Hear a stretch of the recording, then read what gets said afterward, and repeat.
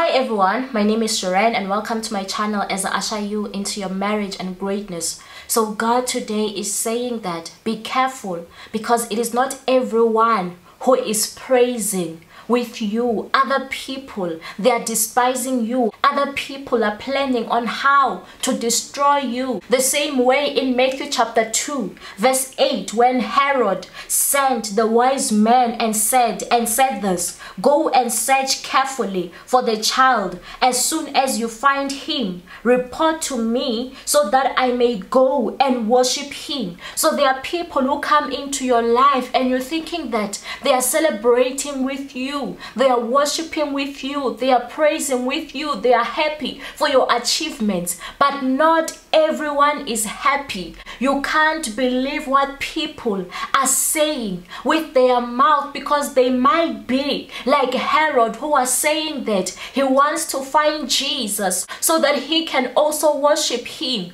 So it is not everyone who comes into your presence who is coming with good intentions. Don't believe a lip service. May God help you to assess the heart because not everyone who is saying well done means it. But God is still saying that even if they are not happy for you, it does not matter. You are still going to live and flourish and do great exploits. He's going to fight for you and He's going to protect you. In the name of Jesus, Amen.